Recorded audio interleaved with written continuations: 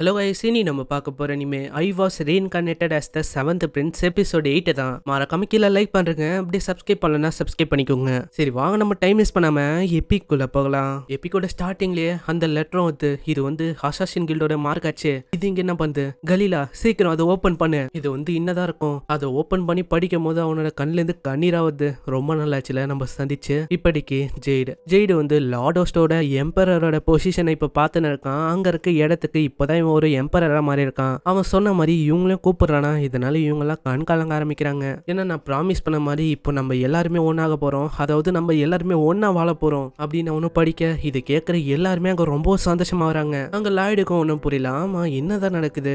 ஜீட் அவன் சொன்ன மாதிரியே அவனோட ப்ராமிஸை நிறைவேற்ற போகிறான் அவனும் அங்கே லெட்டர் பாக்குறானா அதை பார்த்து ஏதோ ஒரு விஷயத்துக்காக அவன் ஸ்மைல் பண்ணுறான் நெக்ஸ்ட் சீனில் அவங்களும் செம்ம வேகமாக போயின்னு இருக்காங்க. அங்கே இன்னும் சொல்கிறான் நீ வந்து கொஞ்சம் பார்த்து போகலாம்ல. என்ன சொல்கிறீங்க நீங்கள் இந்த மாதிரி ரொம்ப ஆர்வமாக இருந்தீங்க அவனை பார்க்கறதுக்கு இப்போ இப்படி சொல்கிறீங்க இப்போ சீன ஃப்ளாஷ்பேக்கு வந்து அங்கே இப்போ தான் என்ன நடந்ததுன்னு காட்டுறாங்க. அங்கே அந்த மொட்டையும் கேட்குறான் ஹே லாய்டு நாங்கள் வந்து லார்டஸ்ட்டுக்கு திரும்பவும் போகலான்னு இருக்கோம். அதுவும் ஜெய்டை சந்திக்கிறதுக்கு. நீ வந்து இந்த கர்சஸை கண்ட்ரோல் பண்ணுறதுக்கான எபிலிட்டி தந்ததுக்கு ரொம்ப நன்றி. கண்டிப்பா இதுக்காக ஒரு நாள் உங்களுக்கு பே பேக் பண்ணுறோம் ஆனால் அதுக்குள்ளே என்ன சொல்கிறேன் ஒரே ஒரு மின்சாரங்க இருங்க. லாய்டு நான் என்ன ஆசைப்படுறேன்னா நீ அங்கே கூட வருவியா? அதாவது எங்கள் மேலே இதை இம்ப்ரிண்ட் பண்ண மாதிரி அவன் மேலே அந்த கர்சஸை கண்ட்ரோல் பண்ணுற மாதிரி அவனுக்கும் இம்ப்ரிண்ட் பண்ண முடியுமா? ஆனால் நீ ஒரு விஷயத்தை ரிலீஸ் பண்ணியா? இது எங்கேருந்து வந்ததுன்னு பார்த்தியா இல்லையே அது சடனாக காற்றுல வந்த மாதிரி தான் இருந்தது. நீ சொல்கிறது தப்பு. இதை வந்து யாரோ ஒருத்தங்க டெலிபோர்ட் பண்ணிருக்காங்க. டிரான்ஸ்பேட்டல் ரீலொகேஷன் மேஜிக் இது வந்து ரொம்ப காம்ப்ளெக்ஸான மேஜிக் இதுலேயே உங்களுக்கு தெரியல இந்த டெலிபோர்டேஷன் மேஜிக் பண்ணது அவனா கூட இருக்கலாம். அப்போனா நீ என்ன சொல்கிற இந்த மாதிரி அவனுக்கு இந்த மேஜிக் மேலே முழு கண்ட்ரோல் இருக்கா? அப்போ இத்தனை நாள் அவன் எங்ககிட்ட போய் சொன்னதானா? அவனால் கண்ட்ரோல் பண்ண முடியும். இருந்தாலும் அவன் இதை பற்றி எங்ககிட்ட சொல்லலை. இதுக்கு அவன் போய் சொன்னான். ஆனால் அங்கே இன்னுக்கும் ஒன்றும் புரியல. இருந்தாலும் அவன் சப்போர்ட் பண்ணுறான்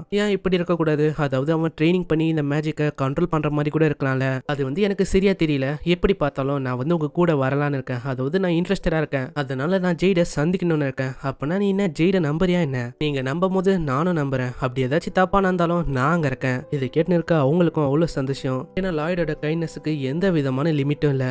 சீன்ல இவங்களும் அங்கே பறந்து போய் எப்படியும் அங்கே ரீச் பண்ணிடுறாங்க? ஆனால் அவங்களோட நிலைமை அதுதான் ரொம்ப மோசமாக இருக்கு. ஆனால் இவங்களோட டெஸ்டினேஷன் அது வந்து ரொம்ப தூரமாக இருந்திருக்கு. ஆனால் இவங்க ட்ராவல் பண்ணது ஏதோ பத்து நிமிஷம் தான் ஆனால் இவங்களோட நிலைமை தான் மோசமாயிட்டு இருக்கு. சரி நீங்கள் ரெஸ்ட் எடுங்க. ஆனால் அதுக்குள்ளேயே ரெண்டு ஓடி போய் சொல்றா நான் வந்து உங்களுக்காக காட்டுல ஏதாச்சும் ஃபுட்டு கிடைக்குதா? அப்படின்னு பார்த்துட்டு வரேன். நீ தனியா போய் பார்க்கறதுல உனக்கு எந்த விதமான பிரச்சனையும் வராதா என்ன? நீ வந்து ரின்னை பத்தி கவலைப்பட தேவையில்ல. ஏன்னா அவ சின்ன வயசுல இருந்தே ஃபாரஸ்ட்ல தான் வாழ்ந்திருக்கா. ஏன்னா சின்ன வயசுல தெரியாதனமா அவளோட பாய்சனை யூஸ் பண்ணி அவளோட பேரண்ட்ஸை கொண்டுட்டா அப்பத்துல இருந்து இவ ஃபாரஸ்ட்ல தான் வாழ ஆரம்பிச்சா. அதனாலே அவளுக்கு ஃபாரஸ்ட்டை பத்தியும் நிறைய விஷயம் தெரியும். அங்க இருக்க அந்த பொண்ணு சொல்றா ஜெய்டு தான் ஃபர்ஸ்ட் இந்த பொண்ணையே மீட் பண்ணா தெரியுமா? இப்போ சீனம் பாஸ்ட்டுக்கு போது அங்க ஜெய்டும் அந்த பொண்ணை தூக்கின்னு வரான். அங்க பார்த்தா துணியை வச்சு ஃபுல்லா கவர் பண்ணி வச்சிருக்கான் ஆளு. பாருங்க இவ தான் நம்மளோட நியூ ஃப்ரெண்ட் இது ஒரு நியூ பிளாட்டட் இவளோட பவர் என்ன தெரியுமா? இவளோட பவர் வந்து பாய்சன் இவளால அதை கண்ட்ரோல் பண்ண முடியல. இதை கேட்டோன்னே எல்லாருமே பயப்பட ஆரம்பிக்கிறாங்க. அப்போனா அது ஒரு பிரச்சனை தான்ப்பா. ஏதாச்சும் ஆயிடுச்சுன்னா நீங்கள் வந்து கவலைப்பட தேவையில்ல. இந்த துணி இருக்கிற வரைக்கும் அவ்வளோ சீக்கிரம் பாய்சன் வந்து வெளியில் வராது. இருந்தாலும் பாய்சன் வெளியில் வந்தால் யோசிச்சு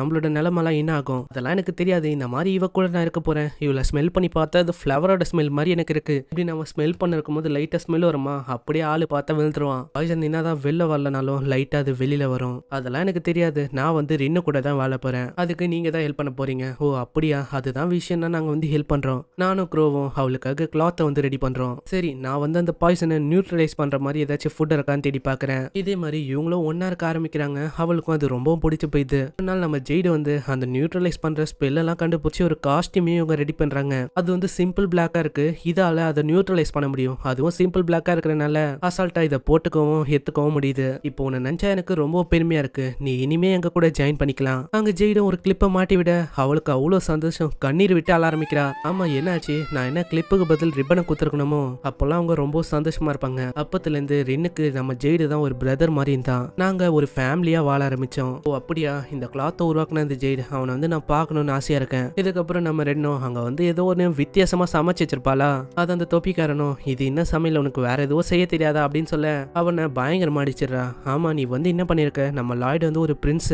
அவன் என்ன இந்த மாதிரி சாப்பாடெல்லாம் சாப்பிடுவானா என்ன? நீ வேற ஏதாச்சும் செஞ்சிருக்கணும். ஆனா அதுக்குள்ளேயே லாய்டு பார்த்து அங்க சைட்ல சாப்பிட்டுக்கினே சொல்றான். இது வந்து நல்ல டேஸ்டா தான் இருக்கு நான் ஏன் அப்படி சொல்றேன்னா என்னோட பாஸ்ட் வாழ்க்கையில நான் இதோட மோசமாலாம் சாப்பிட்ருக்கேன் அதை கம்பேர் பண்ணா இது எவ்வளவு பரவாயில்ல. அங்க மத்தவங்களும் சாப்பிட அவங்களுக்கும் அது பிடிச்சிருக்கு. நான் வந்து எதிர்பார்க்கல ரீன் உன்கிட்ட இந்த மாதிரி டேலண்ட்லாம் இருக்குன்னு. ஏன்னா நீ இது வரைக்கும் சமைச்சது இல்லை ஏன்னா உன்கிட்ட பாய்சனபிலிட்டி இருக்கனால அடிக்கடி அது வந்து கலந்துரும். அதனாலே நீ இது வரைக்கும் சமைச்சதே இல்லை அப்படி இருந்தும் உன்கிட்ட ஒரு ஸ்பெஷலான டேலண்ட் இருக்கு. ஆமா அதுவும் கரெக்ட் தான். நானும் என்ன ஆசைப்படுறேன்னா நம்ம கூட ஜெய்டா சாப்பிட்டு இருந்தா நல்லா இருந்திருக்கும். இதுக்கப்புறம் சீனும் பாஸ்ட்டுக்கு போகுது அங்க ஜெய்டும் சொல்றான் ஒரு நல்ல விஷயம் கைஸ் நம்ம மேல இந்த பவுண்டிஸ் அதை வந்து அவங்க தூக்கலாம் டிசைட் பண்ணிருக்காங்க. இது கேட்குற அவங்களும் அவ்வளோ சந்தோஷப்படுறாங்க. ஓ அப்படியா? அது வந்து நல்ல விஷயம். அப்பனா நம்ம இதை பார்ட்டி பண்ணி கொண்டாட வேண்டியதுதான். சரிவா ஜெய். நம்ம வந்து ட்ரிங்க் பண்ணலாம். நம்ம வந்து அவளைக்கும் கொண்டாடக்கூடாது. அவங்க வந்து வெறுமா டிசைட் தான் பண்ணிருக்காங்க. இருந்தாலும் என்ன? நம்ம பார்ட்டி பண்ணலாம். அதுக்கு என்ன? ஆனா ஜெய்டே இப்பதான் ஒரு உண்மையை உடைக்கிறான். ஜெய்டு வந்து லார்டஸ் கிளானோட தேர்டு சன் இவன் தானா அந்த கிளான் அது வந்து ரொம்ப கரப்டான கிளானா அங்க வந்து நிறையவே சண்டை போயின்னு இருக்கு. ஏன் வார கூட ப்ரிப்பேர் ஆயினிருக்காங்க. இருக்காங்க அதனால தான் நான் தடுக்கணும்னு சொல்லி ஒரு டீமை உருவாக்க ட்ரை பண்ணேன். அது வேற யாரும் இல்ல அது நீங்க தான் அதனால என்ன மன்னிச்சிருங்க காய்ஸ் அப்படின்னு அவனு சொல்ல ஆனா அவங்க பார்த்தாங்க ஷாக்கே ஆகல.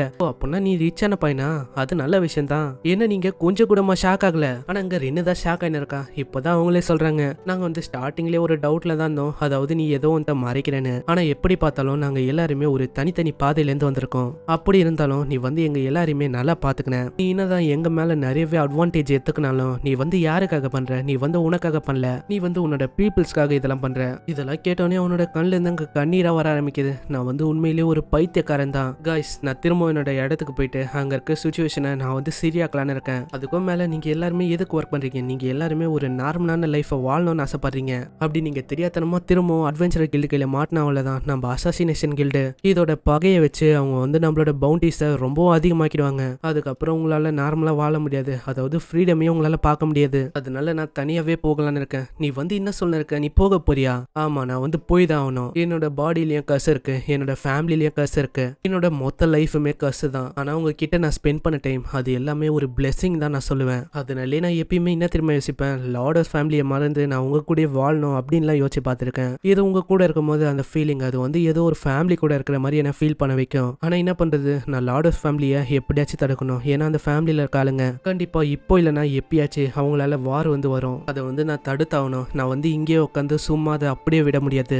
அதனால தான் நான் அங்கே போகலான்னு இருக்கேன். அங்கே போயிட்டு அங்கே இருக்க விஷயத்த என்னோட கட்டுப்பாட்டுக்கு நான் வர வைக்கணும். ஏன்னா நம்மள மாதிரி ஆளுங்க ஒன்றா வாழணும்னா அதை வந்து நான் பண்ணி தான் ஆகணும் அங்கே எல்லாத்தையும் நான் கட்டுப்பாடுக்கு வர வச்சக்கப்புறம் நம்ம எல்லாருமே ஒன்றா வாழலாம். நீங்களும் உங்களோட ட்ரீம்ஸை வந்து மறக்காதீங்க. நீங்கள் ஓப்பனாக வாழுங்க. நான் என்ன ஆசைப்படுறேன்னா இந்த காயின் இதை வந்து நீங்கள் வச்சுக்கோங்க. அதாவது நம்மளோட ஞாபகார்த்தமா. இதெல்லாம் தான் அவன் சொன்னான் அப்படின்னு சீனு பிரசன்ட்டுக்கு வந்து. இதெல்லாம் கேட்டு இருக்க கிரிமே அங்கே கண்ணீர் விட்டு அழுதுன்னு இருக்கு. ஜெய்டு அந்த பையன் உண்மையிலேயே ஆசம் தான் நினைக்கிறேன். நெக்ஸ்ட் சீன்ல இவங்களும் போயின்னு இருக்கும்போது லாய்டு அப்படியே தூங்கின்னு இருக்கானா? அங்க கெலிலியும் சொல்றான் இவன் என்னதான் சாசராரா இருந்தாலும் இவன் ரொம்ப கியூட்டா இருக்கான். நீ வந்து ஒரு விஷயத்த மறக்க கூடாது அவன் என்னதான் இப்போ தூங்கி இருந்தாலும் அவன் மேல ஒரு பேரியர் இருக்கு. ஆமா அதுவும் கரெக்ட் தான். இவங்க இப்படி போயின்னு இருக்கும்போது என்ன சொல்றான்? நம்ம வந்து வந்துட்டோம். அதனால நம்ம லாய்ட கொஞ்ச நேரத்துக்கு ரெஸ்ட் எடுக்கலாம். அதுக்குள்ள நம்ம போய் ஜெய்ட மீட் பண்ணிடலாம். ஏன்னா நான் ஜெய்ட டவுட் பண்ண விரும்பல. ஏன்னா யாருக்கு தெரியும்? அங்க இருக்க லார்டோஸோட ஹெட் அவரு நம்ம ஜெய்ட மேனிப்புலேட் பண்ணி கூட இதெல்லாம் பண்ண வைக்கலாம்ல. அதனால நம்ம போய் செக் பண்ணுறதும் கரெக்ட் தான். இவ சொல்றதும் ஒரு நல்ல பாயிண்ட் தான். அப்போ இதுதான் விஷயம்னா நீங்க கிரிம்மு கூடயும் லாய்டு கூடயும் இங்கே இருங்க. நீ என்ன உண்மையிலேயே ஒரு பைத்தியமா என்ன?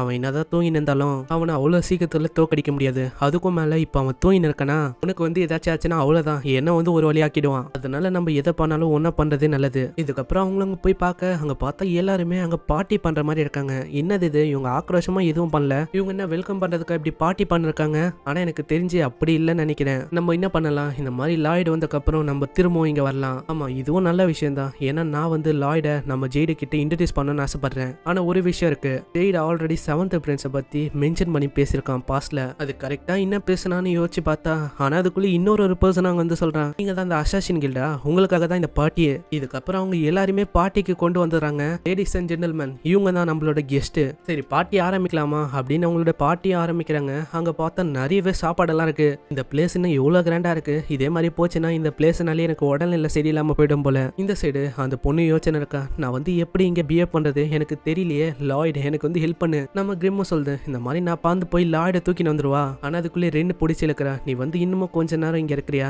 ஏன்னா நான் திரும்பவும் ஜெயிட சந்திக்க போகிறேன் அதனால எனக்கு நர்வஸாக இருக்கு. அதனால நீ இருந்தால் கொஞ்சம் ஆறுதலாக இருக்கும். இதுக்கு கிரிமும் ஒத்துக்குது. இதுக்கப்புறம் அங்கே அவரும் கேட்குறாரு ஆமாம் ஜெய்டங்க பார்த்தா ஜெய்டு அங்கே வந்து நிற்கிறான் இதை பார்த்தவங்க எல்லாருமே ஷாக் ஆயிடுறாங்க. ஜெய்டோட லுக்ஸ் அப்படியே வேற மாதிரி இருக்கு. அங்கே ஜெய்டுமே ஒரு டெலிபோர்டேஷன் மேஜிக் யூஸ் பண்ண ஜெய்டோட ட்ரெஸ் அப்படியே மாறிது இப்போ நீ ஒரு டெலிபோர்டேஷன் மேஜிக் தானே யூஸ் பண்ண? ஆமா அது வந்து டெலிபோர்டேஷன் மேஜிக் தான். எப்படி யூஸ் பண்ண? உன்னால கண்ட்ரோல் பண்ண முடியுமா? அது ஈஸியான விஷயம் தான். கொஞ்சம் ப்ராக்டிஸ் பண்ண. அதுக்கப்புறம் அது கண்ட்ரோலுக்கு வந்துச்சு. அங்க நின்று சொல்றேன் நான் வந்து உன்கிட்ட நிறைய விஷயம் சொல்லணும்னு ஆசைப்பட்டேன். ஆனா நான் என்ன சொல்றதுன்னு தெரியல. இது வந்து கொஞ்சம் வீடா இருக்கு. அந்த விஷயத்தெல்லாம் நான் எப்படி சொல்றது? எல்லாமே இப்போ என்னோட மைண்டுக்கு வரவே மாட்டுது. ஆமா அதே தான் இதை பார்த்து இருக்க கிரிமோ அங்க சந்தோஷமா போயின்னு இருக்கும்போது அவனும் சொல்றான் சரி ஏதோ ஒன்று நான் அவங்கள பத்திலாம் கவலைப்படல. பவு டவுன் அப்படின்னு அவனும் ஒரு மேஜிக் யூஸ் பண்ண. அவங்க எல்லாருமே அப்படியே முட்டி போட்டுறாங்க. இது வந்து என்னது? இது க்ரோவோட டெக்னிக் ஆச்சு. இதை வந்து எப்படி யூஸ் பண்ணுறான் இதை வந்து வழக்கத்தை விடவே ரொம்ப ஃபோர்ஸ்ஃபுல்லாக இருக்குது பரவாயில்ல. இதுதான் ஒரு ஈஸியான வே ஒரு ஹெல்த்தியான பிலேட்டடோட பாடியை கலெக்ட் பண்ணுறதுக்கு அதுவும் நம்ம கிட்ட ஒரு கூட்டமே மாடி இருக்கு. இதில் நீங்கள் எந்த பிலேட்டடோட பாடி வேணுமோ அதை வந்து நீங்கள் எடுத்துக்கலாம் எதை சூஸ் பண்ணுறீங்க நீங்கள் இங்கே ஒரு பொண்ணு இருக்கு. இவளோட பேர் எனக்கு ஞாபகம் இல்லை. ஆனால் இது பாய்சன் ஒன்று இப்படி அவனும் போகும்போது திடீர்னு பார்த்தா அங்கே இன்னொரு ஒரு அட்டாக்கும் நடக்குது. திரும்ப அங்கே பயங்கரமாக அட்டாக் பண்ணீங்கன்னே சொல்லுது. இந்த மாதிரி நீங்கள் சீக்கிரமாக ஓடி போய் லாய்டு கிட்ட சொல்லுங்க. நீங்க இருந்து ஓடிருங்கன்னு. ஏன்னா இது மிகப்பெரிய பிரச்சனை. ஆனால் அதுக்குள்ளேயே ஜெய்டு ஒரு பயங்கரமான கிக் அடிக்கிறான். இதனால நம்ம கிரிம் ரொம்ப தூரமா போய் விழுது. நான் நினச்சி பார்க்கல ஒரு டீமன் வந்து நடுவில் நுழையன்னு இந்த சைடு கிரிம் அங்க லாய்டு கிட்ட வந்து விழுது. என்னை மன்னிச்சிருங்க நான் வந்து எதிர்பார்க்கல. அவன் வந்து ரொம்ப ஆக்ரோஷமானவன். இது இதெல்லாம் நைட் மேர் மாதிரி இருக்கு. எல்லாத்துக்கும் காரணம் அந்த ஜெய்டு தான். இந்த சைடு அந்த மாஸ்டர்ஸும் அதுங்களோட வாயை விட்டு வெளில வந்து சொல்லுது. உங்களுக்கு வந்து இன்னுமா தெரியல? இங்க என்ன போயின்னு இருக்குன்னு. நீங்கெல்லாம் உண்மையிலேயே லோ ஃபார்ம்ஸான கிரியேச்சர்ஸ் தான். நான் இதுங்களை பத்தி கேள்விப்பட்டிருக்கேன். இதுங்க வந்து மனுஷங்களை கண்ட்ரோல் பண்ணமா கண்ட்ரோல் பண்ணி அதுங்களோட பாடி ஏத்துக்குமா? ஆமா நீ சொல்றது எல்லாமே கரெக்ட் தான். இதுங்களா டீமன்ஸ் இதுங்களை நெதர் வேர்ல்டுல இருந்து நான் கூப்பிட்டு வந்தேன். நெதர் வேர்ல்டா அது வந்து எங்க இருக்குன்னா காண்டினென்ட்டோட அதர் சைடு கிரேட் ஓஷன் அங்க இருக்கு. அங்கேருந்து இருந்து தான் நானும் வந்திருக்கேன். உங்க எல்லாரையுமே சந்திச்சதுக்கு நான் ரொம்ப சந்தோஷப்படுறேன். அதுக்கும் மேல எனக்கு தேவையானது அந்த டெலிபோர்டேஷன் எபிலிட்டி அதை வந்து நான் அடைஞ்சிட்டேன். சரி பை த வே நான் வந்து என்னையும் இன்ட்ரடியூஸ் பண்ணிக்கிறேன். என்னோட பேரு குசாமி. நீங்க ஜெய்டை பத்தி யோசிக்க தேவையில்ல. ஏன்னா அவன் இறந்து போயிட்டான். ஏன்னா நான் அவனோட பாடியை கண்ட்ரோல் பண்ண ஆரம்பிச்சிட்டேன். ஜெய்டோட எபிலிட்டி டெலிபோர்டேஷன் அது வந்து உண்மையிலேயே வேற லெவல் தான். ஆனா ஒன்று ஜெய்டோட மைண்டை கண்ட்ரோல் பண்றதுக்கு எனக்கு நிறைய மாசம் ஆச்சு.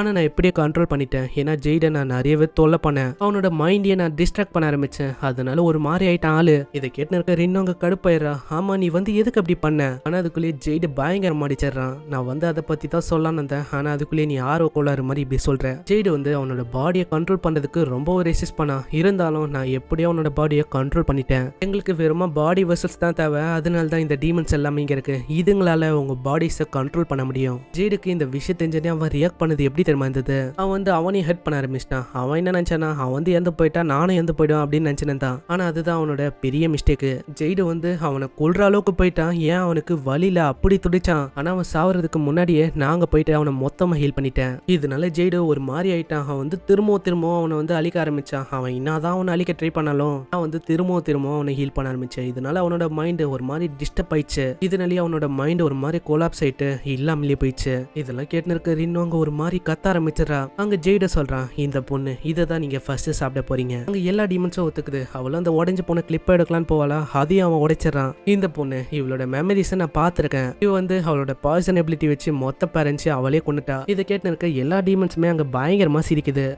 ஜெய்டு ஜெய்டு வந்து ரொம்ப சஃபர் பண்ணியிருக்கான். லைஃப் எதுக்கு எவ்வளவு கொடுமையா இருக்கு எங்களுக்கு? எங்களுக்கு ஒரு விஷயம் புரியல. எங்களோட லைஃப் எதுக்கு ரொம்ப டிஸ்அட்வான்டேஜாவே இருக்கு? அங்க இதை நினைச்சுதான் எல்லாருமே கவலைப்பட்டு இருக்காங்க அவங்களும் அங்கே தாக்கலான்னு பார்க்குறாங்க இருந்தாலும் அவங்களால எழுந்துக்க கூட முடியல. அங்கே ஜெய்டோ இப்பதான் நோட்டீஸ் பண்ணுறான் அவளோட கையில் ஏதோ ஒரு டேட்டோ மாதிரி இருக்குது நான் வந்து இதை ஜெய்டோட மெமரிஸில் பார்க்கவே இல்லையே. இந்த டேட்டோஸ் உங்கள் மேலே இருக்கனால உங்களோட பாடிஸ் அது வந்து வேஸ்ட் ஆயிடுச்சு. சரி இந்த டேட்டோஸை யார் உருவாக்குனா? அங்கே குரோவோட எபிலிட்டி யூஸ் பண்ணி கேட்க அவளும் அங்கே சொல்லான்னு வருவா. இருந்தாலும் அவளோட லிப்ஸ் எல்லாம் கடிக்க ஆரம்பிக்கிறான் நீ வந்து என்ன பண்ண இருக்க நீ இப்படி பண்ணால் உன்னால் பேச முடியாமல் போகுமே. நீ உன்னோட பாய்சனை வச்சு உன்னோட பேரண்ட்ஸையே கொன்ன. இப்போ நீ வந்து உன்னோட ஃப்ரெண்ட்ஸை காப்பாற்றலாம் ட்ரை பண்ணுறியா அங்கே ரெண்டு யோசனை இருக்கா. ஜெய்டு நீ வந்து எவ்வளவு நல்லவனா இருந்த? நான் வந்து உன் கூட சந்தோஷமா இருக்கணும்னு ஆசைப்பட்டேன். இப்போ என்னால விதவிதமா ட்ரெஸ் எல்லாம் போட முடியும். நீ கொடுத்த அந்த ரிப்பனையும் என்னால மாட்டிக்க முடியும். அதுக்கும் மேல உன்னை சந்திச்சு நான் கட்டி பிடிக்கணும்னு ஆசைப்பட்டேன். நான் உனக்கு இன்னொருத்தவங்களையும் இன்ட்ரடியூஸ் பண்ணணும்னு ஆசைப்பட்டேன். ஆனா அதுக்குள்ளேயே ஜெய்டோ ஒரு மாதிரி முறைச்சிக்கினே சொல்றான். யாரு? யார் உங்க மேல அந்த டேட்டோவை உருவாக்குனா? அங்க அவள் ரொம்ப பயந்து போயிடுறான் இருந்தாலும் அவள் ஒண்ணுமே சொல்லலை. திடீர்னு பார்த்தா வானத்துல ஏதோ ஒரு பெரிய பேரியர் கிரியேட் ஆகுது. அங்க இருக்க ரென்னு அங்க இருக்க மத்தவங்க மேலேயும் அந்த பேரியர் கிரியேட் ஆகுது இதுக்கப்புறம் அங்க ஒரு பெரிய எக்ஸ்ப்ளோஷன் நடக்க. இதனால் ஒரு பெரிய ஹோலம் உருவாயுது இதெல்லாம் பார்த்துன்னு இருக்க கலீலியா அங்க இருக்க எல்லாருமே ரொம்ப ஷாக் ஆயிடுறாங்க இப்பதான் நம்மளுக்கே புரியுது இதை பண்றது வேற யாரும் இல்ல நம்ம லாய்டு தான். அங்க ரெண்டுக்கும் அவனை பார்த்து அவ்வளவு சந்தோஷம். அங்க லாய்டு சொல்றான் நீ தேடி நின்றல அந்த டேட்டோ யார் ஓட்டுனானு அது வேற யாரும் இல்ல அது நான் தான். இப்படி இவன் சொல்றதோட இங்க இந்த எபிசோட முடியுது. இந்த எபிசோட வந்து உங்களுக்கு பிடிச்சிருக்கும்னு நினைக்கிறேன். பிடிச்சிருந்தா மறக்காம கீழே லைக் பண்றேங்க. இந்த எபிசோடு கொஞ்சம் ஸ்டோரி பேஸ்டா போயிருக்கும். ஆனா இதுக்கப்புறம் தான் வேற லெவல் ஃபைட் இருக்கு. ஸோ மிஸ் பண்றாதீங்க மிஸ் பண்ணாம இருக்கிறதுக்கு சப்ஸ்கிரைப் பண்ணி பெல்லைக்கு நாள் வச்சுக்கோங்க.